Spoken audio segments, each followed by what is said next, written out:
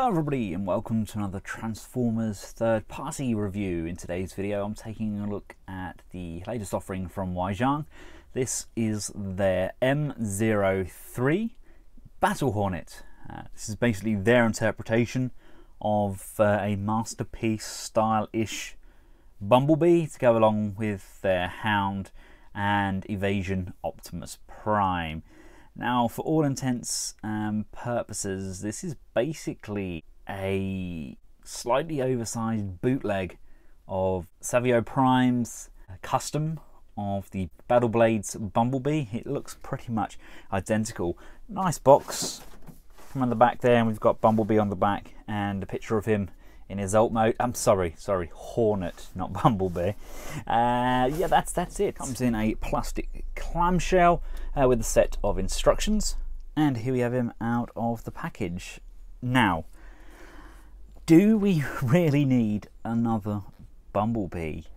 I mean, they've released this at the same time as Hasbro and Takara released their MPM 3 Bumblebee uh, and that's the best version of Bumblebee that I own. Um, so I thought I'd check out this because Weijiang normally have some nice little tweaks, uh, especially their Hound. Their Hound was stunning. I absolutely love him. Uh, but I've got him out of the box, and I must say, I'm slightly underwhelmed. It's a bit of a mess at the back here. Um, initially, this section was really hunched up in the box and this is basically flipped around so it's facing upwards. They must have intended it to kind of be like this with the wings at the back there. Like these sections here that go across the neck, the chest can move up and down quite freely. Uh, so you can kind of pose it and angle it as you see fit. Uh, you generally have bits hanging down though. It doesn't seem to be any particular place to hide all of these bits at the back here which it's not good on Weijiang's part. They've kind of modified it and still left things hanging off. And when you try and reference the instructions to find out what they intended us to do around the back there you're like okay right yep that looks fine. Okay right they've got the doors out yep. And then you come here and it's not like this at all. They've got this section completely flipped up and the doors are down. Uh, so it's nothing like what they've got in the first two images. Uh, so I honestly have no idea what the back is kind of meant to look like. Uh, your guess, your guess is as good as mine. But um, you get the idea. I mean, it's Bumblebee, isn't it? So I've tried to get him as close as I can to look like uh, Bumblebee. I believe this is based on the 2007 movie, or uh, I think he changed at the end of that movie, didn't he? Or it might have been the Revenge of the Fallen mold. I believe Battle Blades came out Revenge of the Fallen, so maybe it's based on this, which is in itself slightly odd because they released Hound from Age of Extinction. They released uh, Evasion Prime based on the Age of Extinction version. You would have thought that they'd have done the Age of Extinction Bumblebee, but I guess they just do whatever they can get their hands on. now, of course, the obvious choice for a comparison is the MPM3 Bumblebee. I was actually expecting the Weijiang to be slightly taller, but as it stands, you know, they're not far off at all. I like the paint more on the Weijiang. We've actually got some really nice detailing. Love this kind of coppery tinge around the crotch area and all of the panels are painted. I mean, just look at those chrome rims as well. They haven't left anything untouched. I should probably open those up to give them a little bit more stability, shouldn't I? Uh, even the cogs on the inside there inside the crotch that's all painted up the underside here we can get to the abdominal section and these sections here all move up love the pistons that they've painted up as well we can bend the elbow the inner elbow again has this nice coppery colour. The wrists rotate, uh, but I can't bring the wrists down.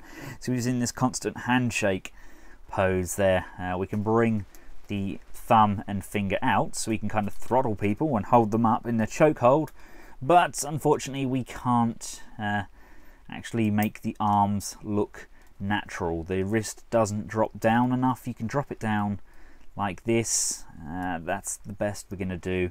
We have the weapons that can be brought round and flipped up. Again, the weapons are nicely painted. We have painted up eyes there as opposed to light piped eyes.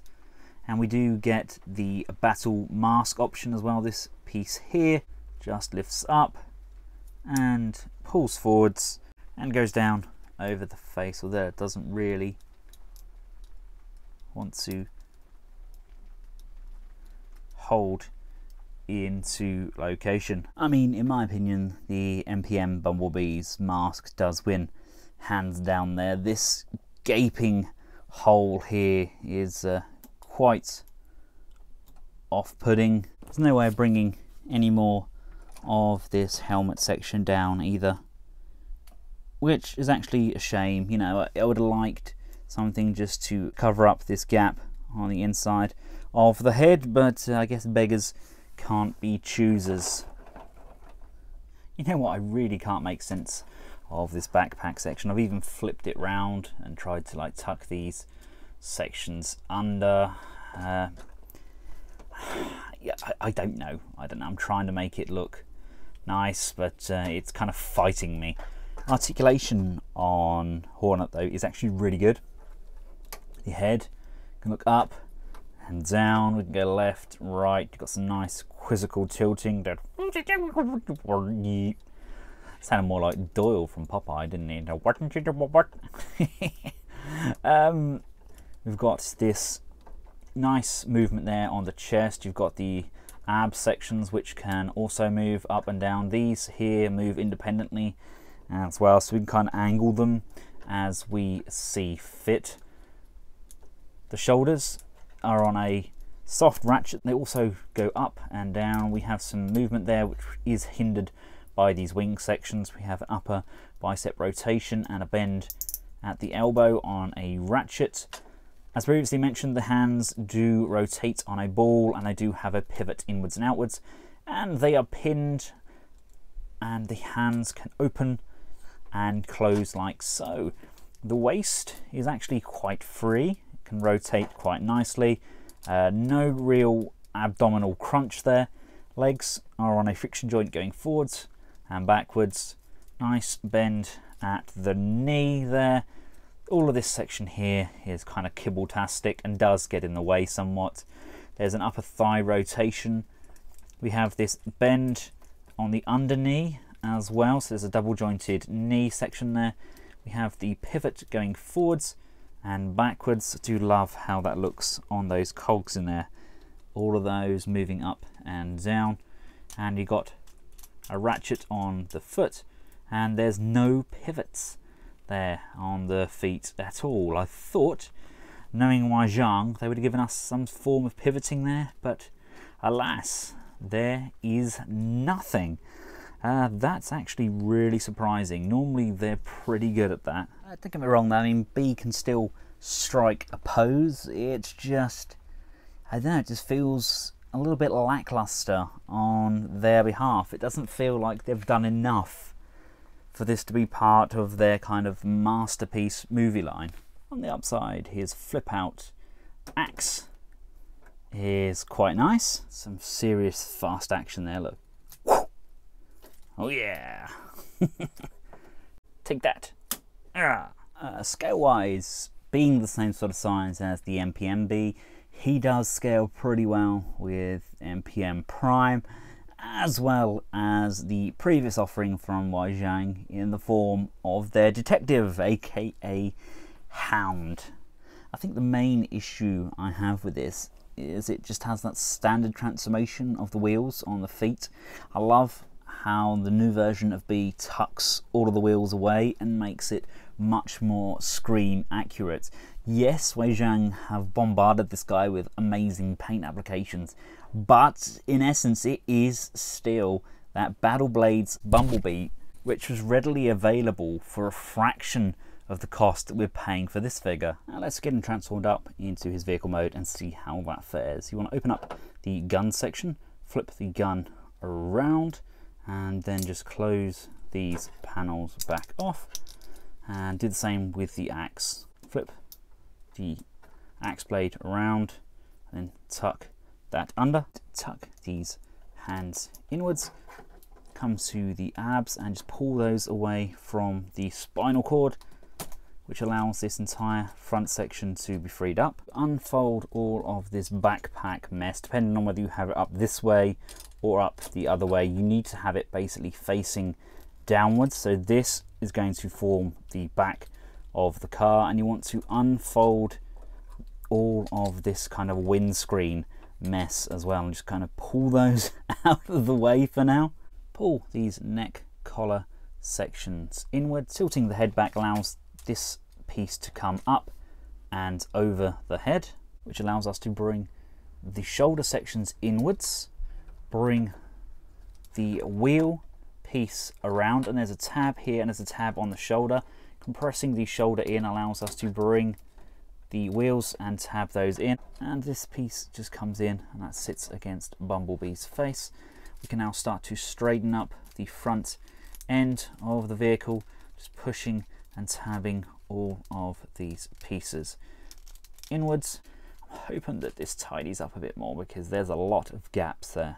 Make sure the weapon sections are rotated inwards on the car so the point is facing the front of the engine block and then we can just bring those up and they just slide inside this tab here. Bring these window tabs around to the front as well as the front end of the vehicle and these are on sliding tabs so we can slide this up which pushes the windshield against the roof section of the vehicle. Rocking this inner hinge backwards allows this all to line up accordingly and we can just tab all of this front end in.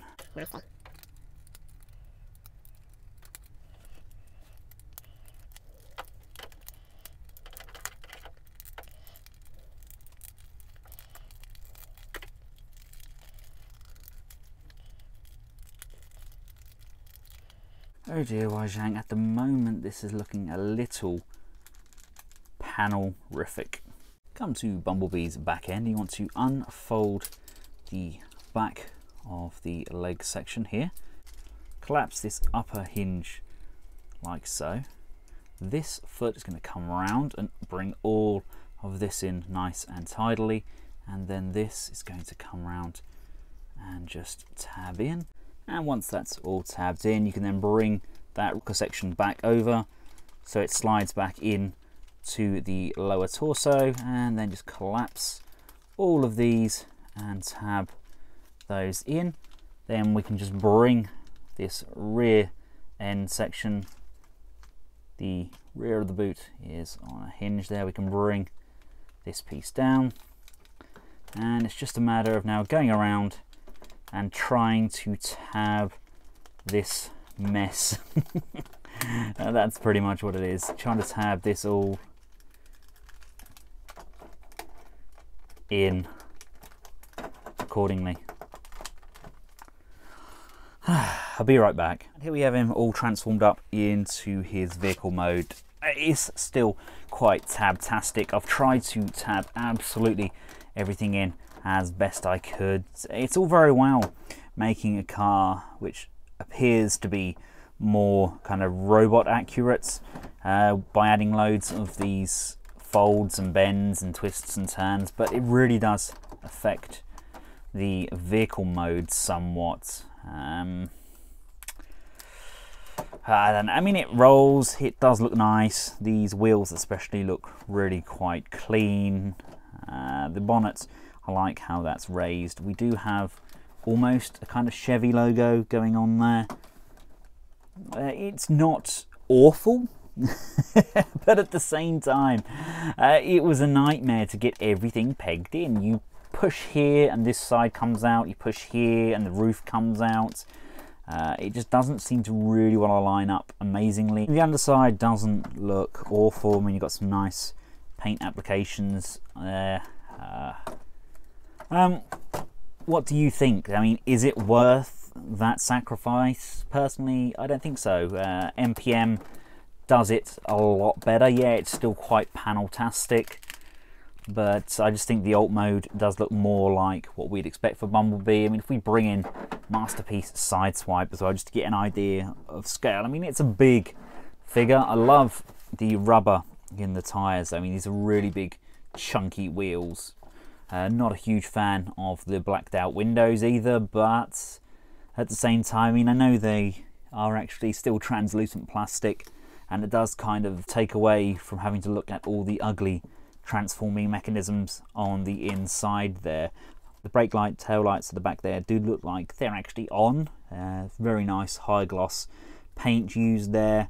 And at the same time, they've painted up like the die cast and the plastic and you do have slightly different shades again running around you've got your fuel cap section here it, it, it's okay but that's exactly it it's just okay the other Huajiang products have given me that wow factor. I mean, the Huajiang oversized version of the Last Knight's Megatron is a lot cheaper than this and huge in comparison. I just think in essence, this is just a repaint, and they've done the Megatron a lot better. And here we have them alongside the MPM Bumblebee. Uh, I'm sorry, Weijiang.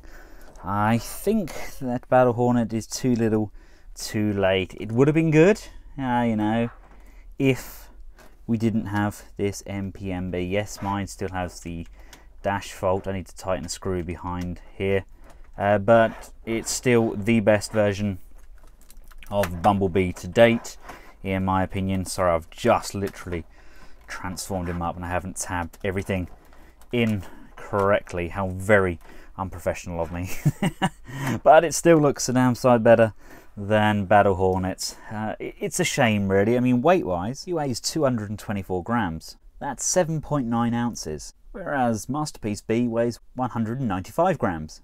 That's 6.8 ounces. So I mean, the die cast and use of rubber and materials, it does make a difference, but this is just proof that adding weight to a figure doesn't necessarily make it a better figure. So there we have it ladies and gentlemen, the Battle Hornet from Huajiang. Uh, I'd like to thank the guys at TF Direct for making this review possible. I know I've been hard on this, but I'm a huge fan of Huajiang. I have supported their products from the get-go, back when they were doing the oversized throttlebots, uh, which I'm still waiting for actually. I'm still waiting for the last throttlebot, and I'll review the big combiner when it's finally made.